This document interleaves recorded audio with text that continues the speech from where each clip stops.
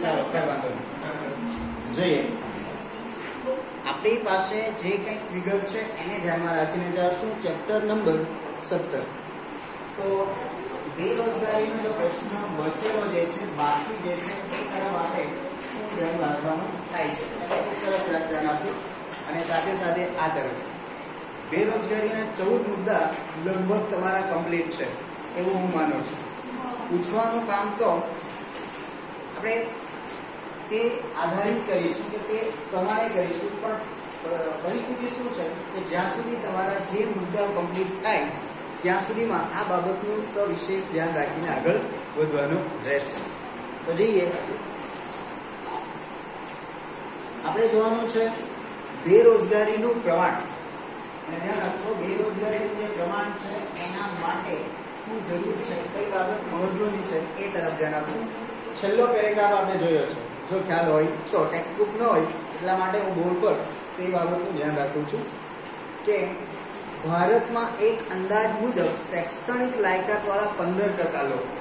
હવે કેવા લોકો છે, શૈક્ષણિક લાયકાત ધરાવતા હોય, યાદ રાખજો. અને તે પંદર ટકા લોકો. એનો અર્થ શું થયો? કે આપણે જે બેરોજગારીને સમજવાનું થાય છે, એ બેરોજગારીનું પ્રમાણ એવું વિસ્તરેલું છે. આપણો મૂળ પ્રશ્ન શું છે? ગરીબીની સાથે બેરોજગારીના વિસ્તરણ જે કહેવાય, પ્રમાણ જે કહેવાય, એ કેટલું છે? કહેવાનો મતલબ કે શૈક્ષણિક લાયકાત ધરાવતા હોય અને એવા પંદર ટકા લોકો યુવાનો છે. હવે આ જે સવાલ છે, યુવાનો, કે આ જે યુવાનો છે, આ યુવાનો એકંદરે ભારતમાં જોવા મળે છે. તો એની પાછળ એક ચોક્કસ રીઝન રહેલું છે કે વિકસિત દેશોની સરખામણી, ખાસ ધ્યાન રાખજો, વિકસિત દેશોની સરખામણીમાં આ પંદર ટકા લોકો યુવાનો છે, પણ સામાન્ય રીતે તે બેરોજગાર છે. એનો અર્થ શું થયું? કે વિકસિત દેશની રીતે ભારતનું જે પ્રમાણ છે, એ સામાન્ય રીતે કેવું જોવા મળે છે?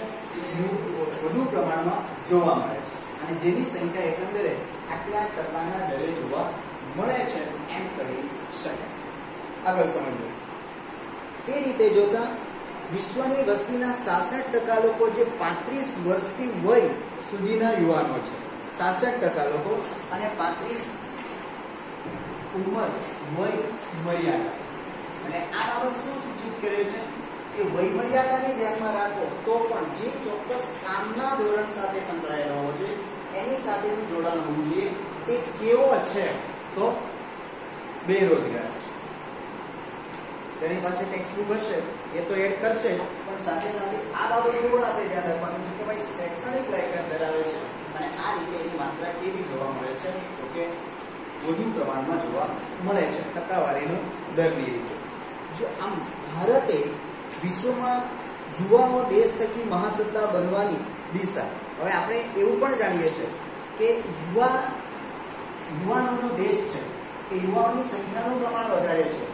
તો આ જે લોકો છે, આપણે દેશને કેવી સત્તા બનાવવાની છે યાદ રાખીએ તો મહાસત્તા. તો મહાસત્તા બનાવવાનું એક માત્ર સ્વપ્ન ન રહી જાય. એને શું કરવાનું છે? ચોક્કસપણે એને બનાવવાનું છે. ચોક્કસપણે એને જોડવાનું છે. તો એવો એક ખ્યાલ જે છે, તે સફળ બનવો જોઈએ. અને એના પાછળ ઘણી ઘણી મહેનત કરવી પડે કે જે તે યુવા વર્ગ કેવો ન રહેવો જોઈએ તો અહીં બેરોજગાર ન રહેવો જોઈએ આ બાબત અહીં સમજાવે છે આમ બેરોજગારીનું પ્રમાણ દિવસે દિવસે અને એનું જે સ્વરૂપ જે કહી શકાય એનું જે પ્રમાણ જે કહી શકાય એ કેવું થતું જાય છે તો કે બદલાતું જાય છે સમય સમય એટલે એના માટે એ રોજગારીનું પ્રમાણ હોવું જોઈએ બીજી બાબત લીધી લેબર બ્યુરોના મતે જેની પાસે ટેક્સ્ટબુક છે તો એ એકસો ચાલીસ પેજ ઉપર ધ્યાન આપશો લેબર બ્યુરો આપણને એવો પણ પ્રશ્ન બે માર્ક્સ માટે પૂછ્યો હોય તો એ વાતનું પણ આપણે અહીંયા ધ્યાન રાખશું કે લેબર બ્યુરોના મતે ભારતમાં બેરોજગારીના પ્રમાણની માહિતીને ટૂંકમાં સમજાવો. ત્યાં લખ્યું હોય લેબર બ્યુરોના આધારે કે સામાન્ય રીતે જે મજૂરી વર્ગ સાથે સંકળાયેલો છે, વર્ગ, તેવો વર્ગ. અને તેના માટે લખ્યું છે, બે હજાર તેર ચૌદમાં બેરોજગારીનો દર પાંચ પોઈન્ટ ચાર ટકા જોવા મળ્યો. વર્ષ કયું? બે હજાર તેર ચૌદ. કેટલા ટકા પાંચ પોઈન્ટ ચાર ટકા? પાંચ પોઈન્ટ ચાર ટકા. મુખ્ય બાબત તરફ વિશેષ ધ્યાન આપશો. અને આ જે છે એ ગુજરાતમાં દર હજારે બાર વ્યક્તિ ગુજરાતમાં શું લખ્યું છે? દર કેટલી વ્યક્તિએ? બાર વ્યક્તિ. યાદ રાખવાનું રહેશે કે ગુજરાતમાં દર બાર વ્યક્તિ. કારણ કે આપણને જે પ્રશ્ન પૂછ્યો છે તે આ સવાલ થયો અને બે માર્ક્સની રીતે તો આ માહિતી લખવાની હોય. પછી આપણે બીજી કોઈ માહિતીનો અહીં સમાવેશ કરશું તો સામાન્ય રીતે એ બાબત આપણા માટે ખોટી છે. તો બાર વ્યક્તિઓ જે છે એ એકંદરે કેવી છે?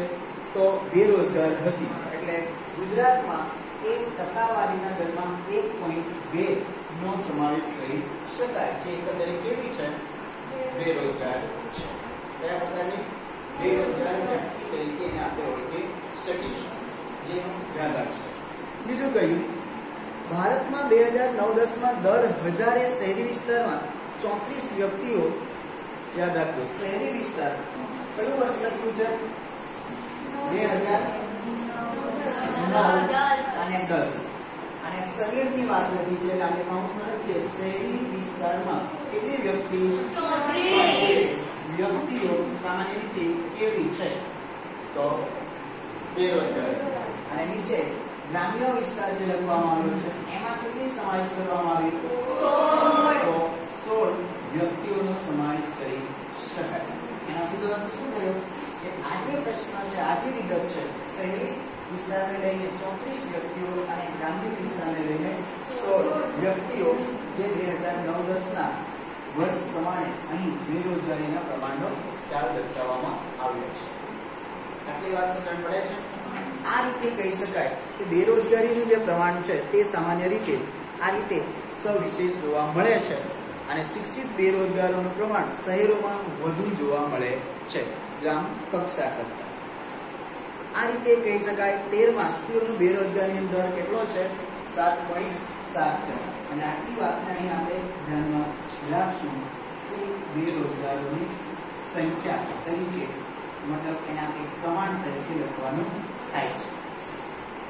તો અહીં આટલી વાતને ફરી જ આપણે ધ્યાનમાં રાખવાનું છે. લખી છે, તેનું ધ્યાન રાખશું. કયા બે શબ્દો છે એ જુઓ. ઊંચું જોવા મળે છે.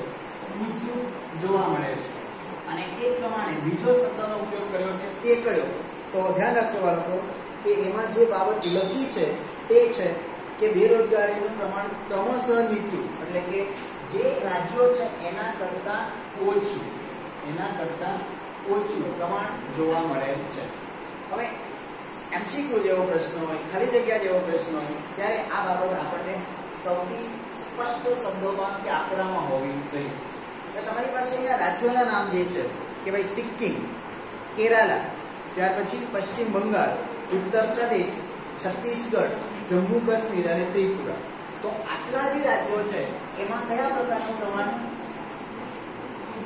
ઓછું કયા પ્રકારનું? ઓછું જોવા મળે છે. અને ત્યારબાદ જે લખવામાં આવ્યું તે કયા પ્રકારના રાજ્યો? તો ધ્યાન રાખો.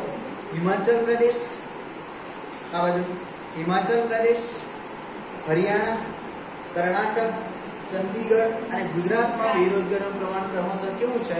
ઓછું જોવા મળે છે. એટલે આમની કરતા જે ઉપર મુજબના જે રાજ્યો કહેવામાં આવે એમના કરતા એકંદરે ઓછા જોવા મળે છે. એ વાત અહીં સ્પષ્ટ કરી શકાય. તો આ રોજગારીના ક્ષેત્રે સવિશેષ ખ્યાલ એની સાથે હોવો જરૂરી છે. એ બાબત પણ એટલી જ મહત્વની છે. હવે બે હજાર અગિયારની વસ્તી ગણતરી આપણને ખ્યાલ છે. કે ભારત દેશમાં દર દસ વર્ષે ધ્યાન રાખજો અને આ બાબત આપણે ધોરણ નવમાં પણ ભણી ગયા છે કે ભારતમાં દર દસ વર્ષે શું કરવામાં આવે છે? વસ્તી ગણતરી કરવામાં આવે છે.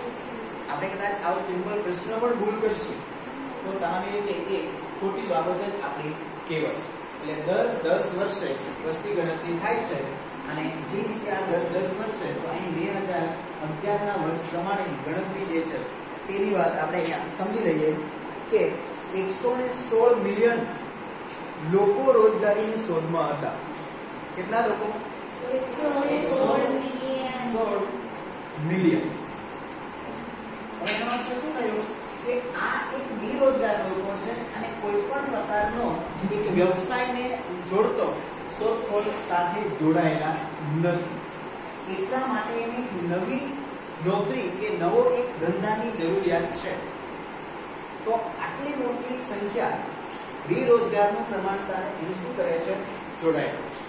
એવો એનો સીધો સ્પષ્ટ ખ્યાલ આવી શકે. અને એના આધારે કહી શકાય કે આ બત્રીસ મિલિયન લોકો અશિક્ષિત બેરોજગાર. યાદ રાખજો, બત્રીસ મિલિયન. જે છે એ કેવા છે? શિક્ષિત બેરોજગાર છે. કયા પ્રકારના છે? શિક્ષિત બેરોજગાર. એનો અર્થ શું થયો? શિક્ષિત તો છે પણ સામે બેરોજગાર છે. એટલે અમુક પ્રકારનું શિક્ષણ મેળવ્યા પછી આપણે આગળના આ ટોપિકના આગળના લેક્ચર પ્રમાણે એક વાક્ય જોઈ ગયા કે સામાન્ય રીતે માધ્યમિક પ્રકારનું શિક્ષણ પ્રાપ્ત કરેલું હોય તો તે વ્યક્તિ કેવો કહેવાય છે? શિક્ષિત હોય. પણ તે કેવો કહેવાય છે? કોઈ કામ ધંધાની રીતે જોડાયેલો તો બેકાર અથવા બેરોજગારીની બાબતમાં ગણી શકાય છે. તો આ વાક્ય ને ધ્યાનમાં રાખતા આપણે ધોરણ દસ પછીનો જે સમયગાળો છે તો તે વ્યક્તિ સામાન્ય રીતે કેવો કહેવાશે? બેરોજગાર કહેવાશે. અને પછીનું વાક્ય પ્રમાણે ચોર્યાસી મિલિયન શિક્ષિત બેરોજગારો હતા અને અશિક્ષિત તે? આ અશિક્ષિત છે અને આ શિક્ષિત ચોર્યાસી મિલિયન શિક્ષિત છે એટલે ધ્યાન રાખશો કે આ અશિક્ષિત તે બત્રીસ મિલિયન શિક્ષિત તે ચોર્યાસી મિલિયન એટલે આ રીતે બે હજાર અગિયારની વસ્તી ગણતરી પ્રમાણે આપણને શું મળે છે? એક આંકડો પ્રાપ્ત થાય છે એમ કહી શકાય. અને એમાં છેલ્લી વાત આપણે ઉમેરી દઈએ કે પંદરથી ચોવીસ વર્ષની હોય તેઓની ઉંમર કેટલી બતાવી? પંદરથી ચોવીસ. તો ઉંમરનો જે સમયગાળો દર્શાવવામાં આવ્યો તે પંદરથી લઈને ચોવીસ. અને તમે સ્પષ્ટ કહી શકો છો કે તમે ધોરણ દસમાં ભણો છો. અને એ સમયથી લઈને આ પંદર વર્ષની ઉંમરે તમે કેવા છો, તો બેરોજગાર છો. અહીં ચોવીસ વર્ષની વય સુધીમાં એટલે મૂળ જે કેવો વર્ગ કહી શકાય, સંપૂર્ણ રીતે શિક્ષિત જે કહી શકાય, તે વર્ગ કેવો છે? બેરોજગારનો ખ્યાલ ધરાવે છે. અને એ રીતે ચોર્યાસી મિલિયન શિક્ષિત લોકો આની સાથે જોડાયેલા છે. આ તરફ અશિક્ષિત જે છે તે બત્રીસ મિલિયન કહેવાનો મતલબ શું થયો? કે આ બાબત આપણને શું દર્શાવે છે? બેરોજગારીનો એક ચોક્કસ આંકડો દર્શાવે છે. ચાલો, વાંધો નહીં. કુદરતી ઘટના. કુદરતી ઘટના સાચી હોઈ શકે છે.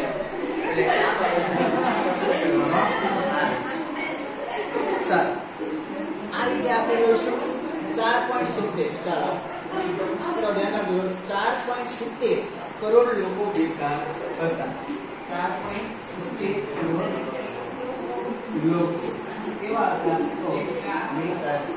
હતા આ આપણો વિશ્વ શ્રમ શું છે? તો વિશ્વ શ્રમ બજાર એટલે સામાન્ય રીતે વિશ્વના દેશોના લોકોનું આદાન પ્રદાન. પણ એ લોકોનું જે આદાન પ્રદાન છે, એમાં મૂળ બાબત શું છે? તો પોતાની બુદ્ધિ. અને એ બુદ્ધિ વડે આપણે એને શું કરી રહ્યા છે? તો ચોક્કસપણે તેની જરૂરિયાત પ્રમાણે એને સ્પષ્ટીકરણ કરીએ છીએ. તો અહીં આપણે શબ્દ તરફ જઈશું કે આદાન પ્રદાનની પ્રક્રિયા. આદાન પ્રદાનની પ્રક્રિયા. પણ એને આપણે સ્પષ્ટ રીતે જોવાનું કામ કરીએ, તો કઈ બાબત છે કે જે આદાન પ્રદાનની પ્રક્રિયા બતાવી છે કે કહેવામાં આવી છે? જોઈએ. વિશ્વના દેશો પોતાના શ્રમિકોનું આદાન પ્રદાન કરે છે. શ્રમિકોનું. હવે શ્રમિક એટલે કોણ? યાદ રાખો. શ્રમિક શબ્દ છે. અહીં શ્રમિક એટલે કોણ? તો શ્રમિક એટલે અહીં સામાન્ય રીતે ડોક્ટર પણ હોઈ શકે સામાન્ય મજૂરી વર્ગ કરનાર પણ હોઈ શકે, કોઈ એક કારીગર પણ હોઈ શકે. તેનું આદાન પ્રદાન છે અને તેની પોતાની કામગીરીમાં એકંદરે એક સ્તંભનું ચોક્કસ તથ્ય છુપાયેલું છે અને તે શું? કે ડોક્ટર ડોક્ટરી કામ કરે છે ઇજનેર છે ઇજનેરી કામ કરે છે, તે તેનું એક વ્યવસાયિક ખ્યાલ બતાવે છે. તો એ બાબત સમજાવે છે કે આંતરરાષ્ટ્રીય કક્ષાએ શ્રમિકોનું એક દેશમાંથી બીજા દેશમાં શું થાય છે? સ્થળાંતર થાય છે. પછી રોજગારી માટે હોય, તાલીમ માટે હોય, ઉચ્ચ શિક્ષણ માટે હોય, અભ્યાસ માટે હોય અને શ્રમની આંતરરાષ્ટ્રીય ગતિશીલતા શું કહી એમ કહેવાય? તો થઈ એમ કહી કહેવાય. તો આપણે અહીંયા ધ્યાન રાખશું કે આંતરરાષ્ટ્રીય ગતિશીલતા આંતરરાષ્ટ્રીય ગતિશીલતા. સવાલો પણ બે રીતે આપણે ધ્યાન રાખી શકીએ કે આંતરરાષ્ટ્રીય ગતિશીલતા કોને કહેવામાં આવે છે? તો આંતરરાષ્ટ્રીય ગતિશીલતા એટલે તેને કહીશું કે સામાન્ય રીતે એક શ્રમિક, એક ડોક્ટર કે એક ઇજનેર પોતાની બુદ્ધિ કે કૌશલ્યતાને લઈને ક્યાં જાય છે? બીજા અન્ય કોઈ પણ દેશમાં જાય છે. અને તે દેશમાં તેને સામાન્ય રીતે એક સેવા પ્રાપ્ત થઈ એમ કહેવાશે. અહીંયા શું પ્રાપ્ત થાય છે? સેવા. કેમ? તો કે તેને એક વ્યવસાય રૂપી જોઈએ છે. શેના રૂપી જોઈએ છે? એક વ્યવસાય તો આંતરરાષ્ટ્રીય ગતિશીલતાના રૂપમાં અહીંયા આપણને ઓપ્શન આપવામાં આવે કે અભ્યાસ માટે જ આવજો કોઈ નોકરી માટે જ આવજો કોઈ ચોક્કસ સ્થળાંતર કરવાનું કોઈ કારણ શું?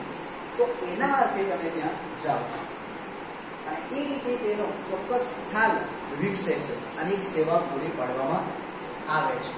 આમ શૈક્ષણિક જ્ઞાન યાદ રાખજો, શૈક્ષણિક જ્ઞાન. એ સાથે ઉચ્ચ ટેકનિકલ જ્ઞાન, આપણી પાસે જે જ્ઞાનાત્મક ખ્યાલ છે, એને વિકસાવવાનો ખ્યાલ તેની સાથે જોડાયેલો છે. કૌશલ્યની પ્રાપ્તિ અર્થે વિદેશમાં વધુ આવો, કારણ કે જવાનું એક જ કારણ નથી. જવાનું એક જ કારણ નથી. તમે એ ગતિશીલતા તરફ કેમ વધ્યા? તો તમે વધુ આવક કમાવા માંગો છો. તમે કંઈક વિશેષ એક પ્રવૃત્તિને મહત્વ આપવા માંગો છો, એટલા માટે ત્યાં જાઓ છો. અને એ રીતે જોતા કહી શકાય કે વધુ આવક, વધુ સુવિધા અને વધુ સારી નોકરીની શોધમાં બુદ્ધિદંડનું બહિર્ગમન. એટલે આપણે આપણા બુદ્ધિનો ઉપયોગ કરી રહ્યા છે અને એક સારો વિકાસ સાંભળવા વિચારી રહ્યા છે. એટલે એ વસ્તુ આપણે ઉપયોગના રીતે ક્યાં કરવાના છે? તો અન્ય કોઈ દેશી. એટલા માટે તેને શું કહી શકાય? બુદ્ધિધનનું બહિર્ગમન તરીકે ઓળખવામાં આવે છે. જેને કયો શબ્દ લખી શકાય? બુદ્ધિધનનું બહિર્ગમન. જેને આપણે કયો શબ્દ લખીએ છીએ? બ્રેન. એટલે બુદ્ધિનું આપ લે તો. અહીંયા આદાન પ્રદાન શબ્દ લીધો છે. અહીં બુદ્ધિનું શું થાય છે? આપલે થાય છે. અને આપલે થવાથી વિશ્વમાં સામાન્ય રીતે સારામાં સારો વ્યક્તિ કોઈ એક જગ્યાએથી બીજી જગ્યાએ સ્થળાંતર કરીને તે દેશને એકંદરે સેવા પૂરી પડી એમ કહી શકાય. અને જેના અર્થે આપણે બ્રેન એ આંતરરાષ્ટ્રીય સ્તરે એકંદરે સ્થળાંતરની એક પ્રક્રિયા તરીકે પણ ઓળખવામાં આવે છે. એટલે આમની સાથે બે શબ્દો જોડાયેલા છે. આંતરરાષ્ટ્રીય ગતિશીલતા કોને કહેવાય? બીજી બાબત શું લખ્યું કે આંતરરાષ્ટ્રીય ક્ષેત્રે ધનનું બહિર્ગમન એ સ્થળાંતરિક ઘટના કે ક્રમિકતા પણ છે, તો તેને શા માટે એવું સમજી શકાય? એવો પણ સવાલ હોઈ શકે. બોલો, બુદ્ધિ ધનનું બહિર્ગમન કોને કહેવાય. કોને કહીશું? બુદ્ધિધનનું બહિર્ગમન. શા માટે ગતિશીલતાનો ખ્યાલ વિકસેલો જોવા મળે છે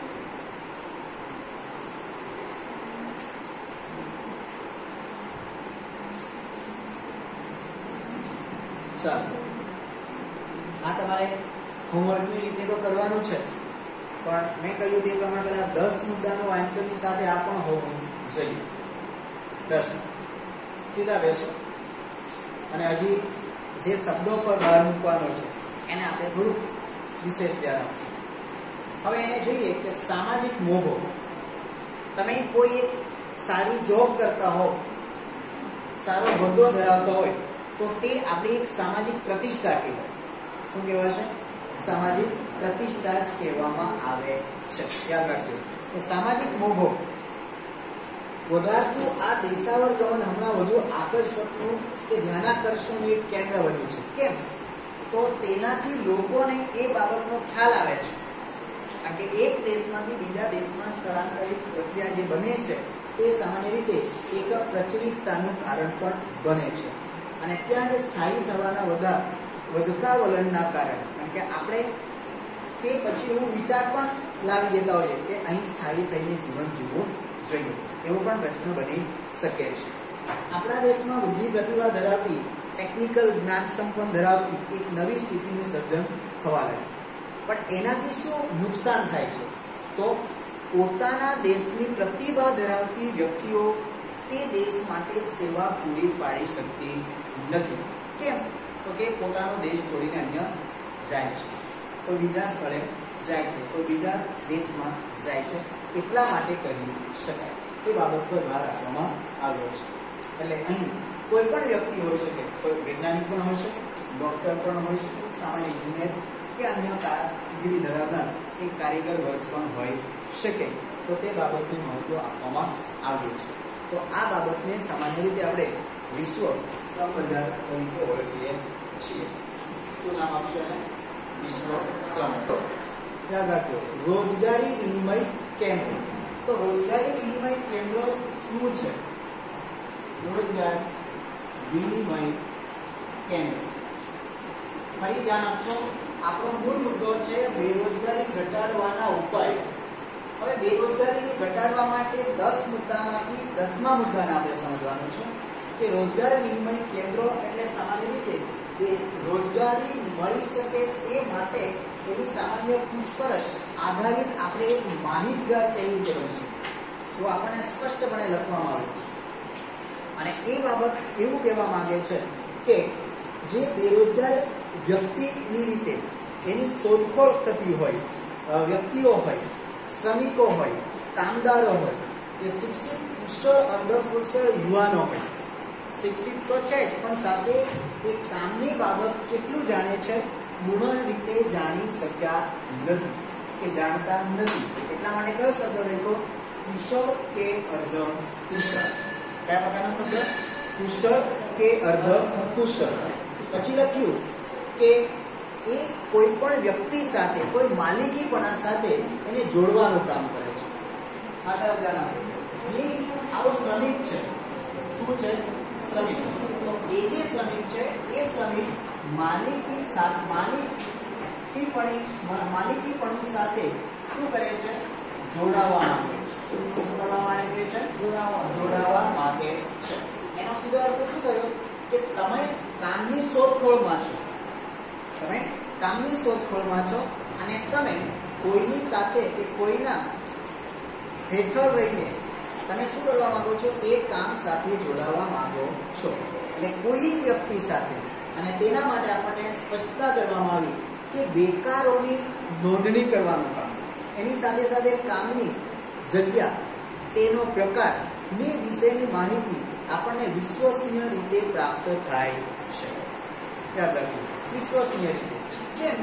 તો આ જે બાબત છે, એનાથી શ્રમિક અને માલિક પણ જે છે, એની સાથે આપણે આમ ચોક્કસ પ્રમાણમાં પ્રાપ્ત થશે, એવો એનો ખ્યાલ છે. તો આ દસ મુદ્દાને આપણે આવતીકાલ ઉપર જઈએ છીએ અને એને ધ્યાનમાં રાખશું. ચાલો.